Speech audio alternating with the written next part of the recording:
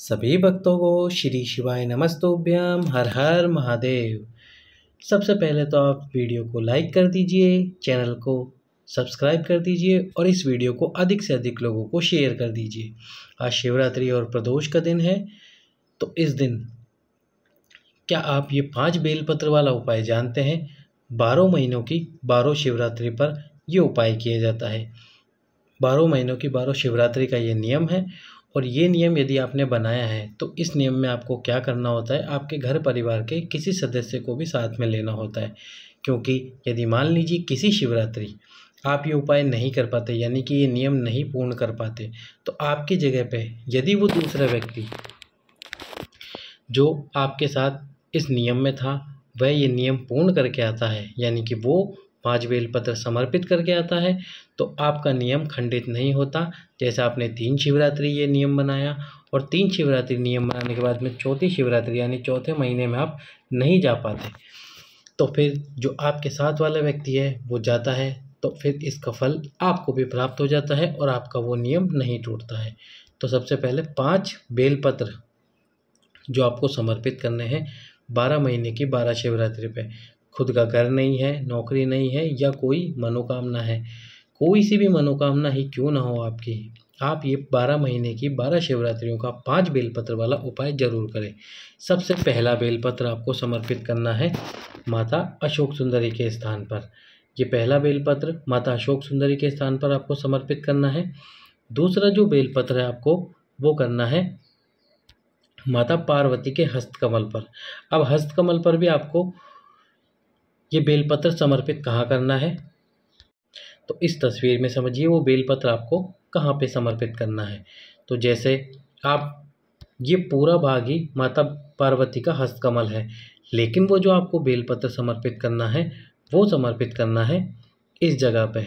और इस जगह पे भी कैसे समर्पित करना है? जैसे कि बेलपत्र की बीच वाली पत्ती इस स्थान पर हो, दूसरी वाली पत्ती इस स्थान पर हो और तीसरी वाली पत्ती इस स्थान पर हो और बेलपत्र की डंडी इस प्रकार से पीछे हो कि जो दोनों पत्तियाँ हैं, उसके बीच में ये शिवलिंग होना चाहिए। तो ये शिवलिंग वाला भाग है, ये इन दोनों पत्तियों के बीच में आ जाएगा और बीच वाली जो पत्ती है, वो शिवलिंग की तरफ़ हो जाएगी।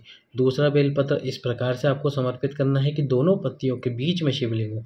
यदि यहाँ पे आप बेलपत्र रखेंगे तो ही ये बेलपत्र इस प्रकार से समर्पित हो पाएगा कि दोनों पत्तियों के बीच में शिवलिंग हो। तीसरा जो बेलपत्र आपको समर्पित करना है, वो करना है भगवान शंकर के शिवलिंग पे।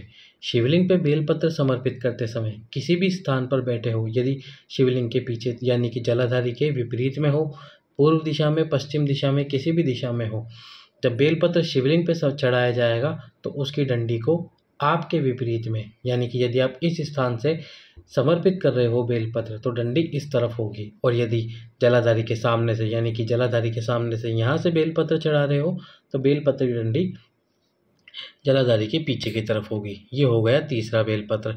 अब तीसरे बेलपत्र के बाद चौथा जो बेलपत्र आपको समर्पित करना है, वो कहाँ पे समर्पित करना है? जहाँ से जल बहकर जाता है। जहाँ से जल बह के जाने का मतलब जैसे जल यहाँ से नीचे गिरा और नीचे गिरने के बाद में इस स्थान से बह के जाता है। तो इस पूरे स्थान में से ये जो जल यहाँ पे गिर रहा है नीचे, इस स्थान पर आपको वो चौथा बेलपत्र समर्पित करना है।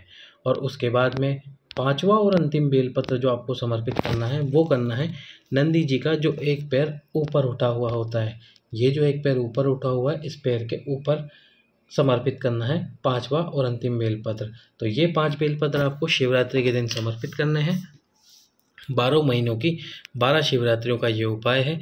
समर्पित कीजिए पाँच बेलपत्र, जिस मनोकामना से आप समर्पित करेंगे, आपकी वह मनोकामना पूर्ण होगी। इसी प्रकार जो संतान प्राप्ति का नियम है, क्या आप उसके बारे में जानते हैं? प्रत्येक शिवरात्रि, यानी बारह महीने की बारह शिवरात्रियों को संतान की कामना के लिए ये नियम मनाया जाता है। और ये नियम है पार्थिव शिवलिंग की पूजा विधि का। पार्थिव शिवलिंग की पूजा की जाती है और पार्थिव शिवलिंग का निर्माण करके रात्रि होने से पहले उस पार्थिव शिवलिंग का विसर्जन कर दिया जाता है।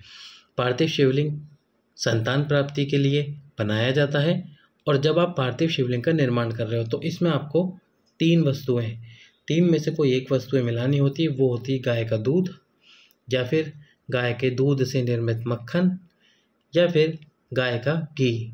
यदि ये तीनों में से एक भी आपके पास में वस्तु हो, मक्खन हो, दूध हो, घी हो, कुछ भी एक हो तो वो आप पार्थिव शिवलिंग का निर्माण करते समय उसमें डालिए संतान की कामना के लिए। ये तीनों में से एक वस्तु डाली जाती है। यदि तीनों है आपके पास में तो आप तीनों डाल सकते हैं। तो संतान प्राप्ति के लिए पार्थिव शिवलिंग का निर्माण करके, निर्माण करोगे, तब उसमें इन तीन में से कोई भी एक वस्तु डालना और उसके बाद पार्थिव शिवलिंग का निर्माण करके अच्छे से पूजन अर्चना करके उसकी पार्थिव शिवलिंग का विसर्जन कर देना। ये बारह महीने की बारह शिवरात्रियों का नियम है। जिन माताओं बहनों को संतान की कामना है, वे इस पार्थिव शिवलिंग का निर्माण करके उस पार्थिव शिवलिंग की पूजन अर्चना करें और संतान प्राप्ति की कामना करें। निश्चित रूप से बाबा आपकी झोली ज़रूर भरेगा यदि अभी तक आपने ये नियम नियम प्रारंभ नहीं करा है तो आज जो शिवरात्रि है, उसी से आप ये नियम प्रारंभ कर सकते हैं और नियम प्रारंभ करके आज से ये नियम बना सकते हैं। आने वाली शिवरात्रियों पर ये नियम ज़रूर करें। सभी भक्तों को श्री शिवाय नमस्तोभ्याम। हर हर